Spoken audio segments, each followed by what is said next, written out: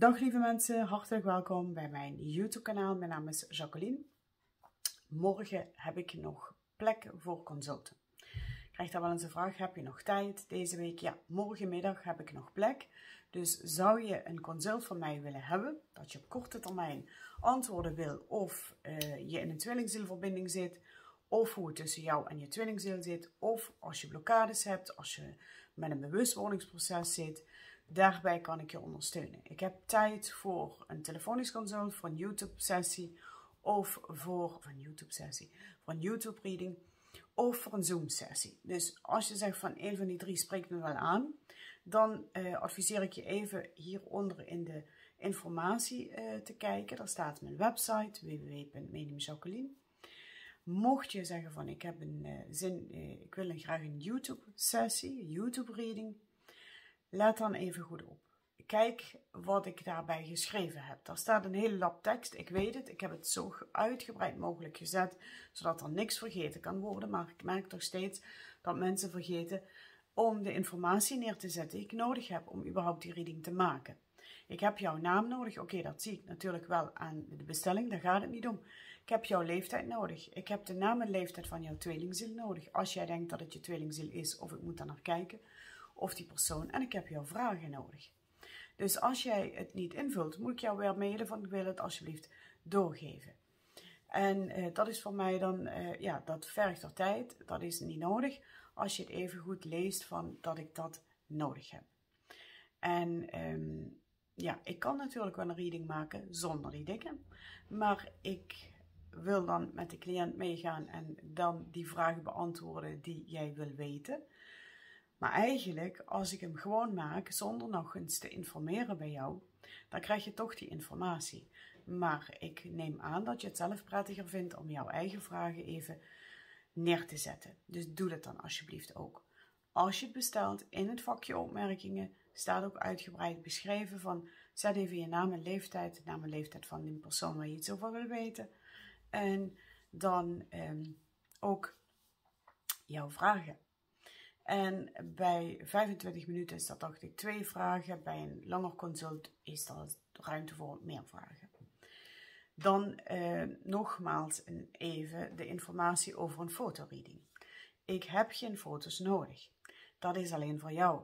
Jij wil graag foto's sturen, maar ik heb die foto's niet nodig. Ik heb alleen een naam nodig en een leeftijd. En voor de rest zullen mijn gidsen jou alle informatie doorgeven die je nodig hebt.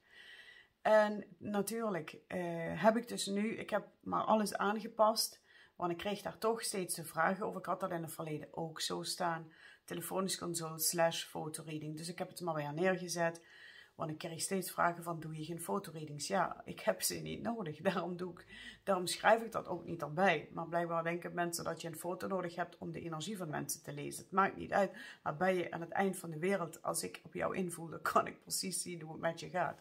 Dus het maakt niet uit of ik een foto heb of niet. Uh, mijn gidsen weten wat er aan de hand is en die vertellen mij dat.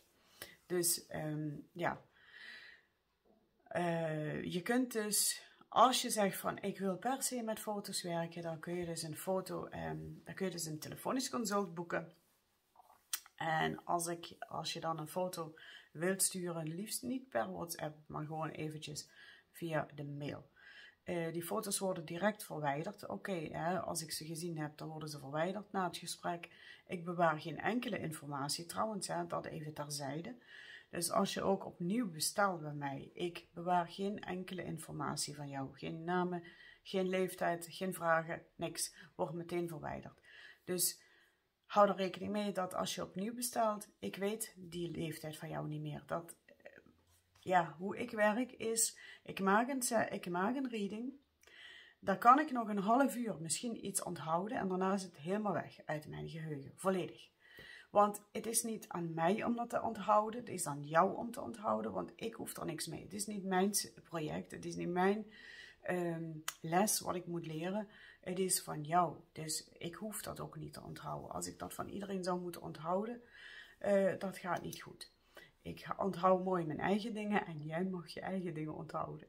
Dus als ik jou iets vertel in een sessie, dan is het aan jou de taak om dat te onthouden, niet aan die van mij. Ik onthoud het ook niet. Wordt gewoon opge opgeschoven, weg, klaar. En zo hoort het ook te zijn.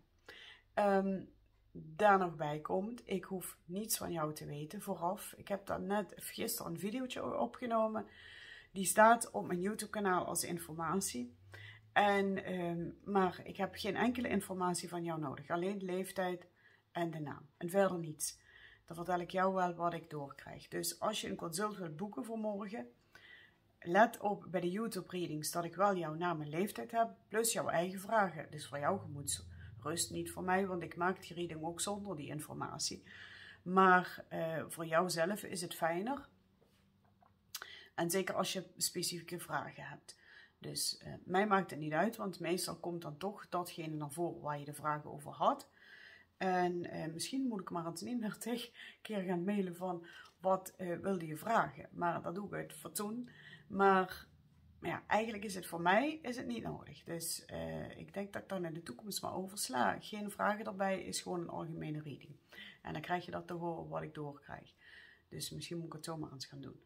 Want dat kost natuurlijk altijd ja, bij een hele wereld mailen en dan moet je wel wachten. En zo kan ik gewoon direct sneller werken.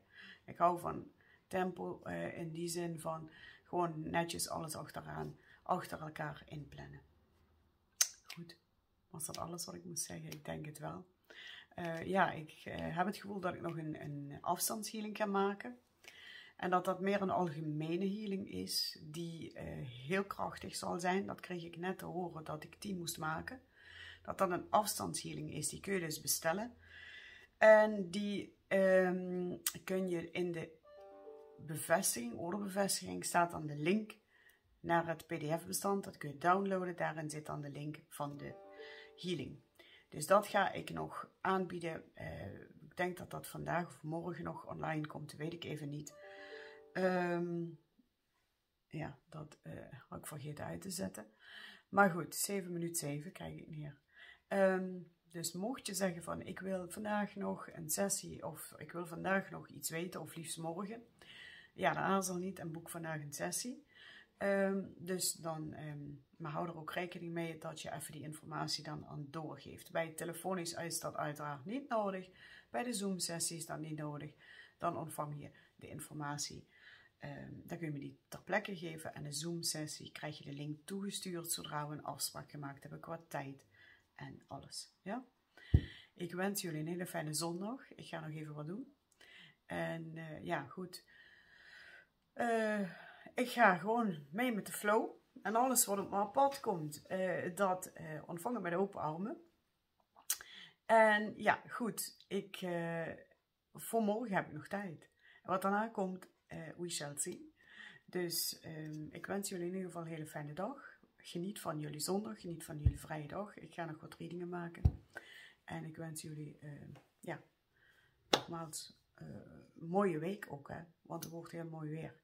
Dus geniet van het mooie weer. Wie weet is het dadelijk weer afgelopen. In ieder geval, eh, dankjewel voor het kijken. Namaste en tot snel. Doei doei.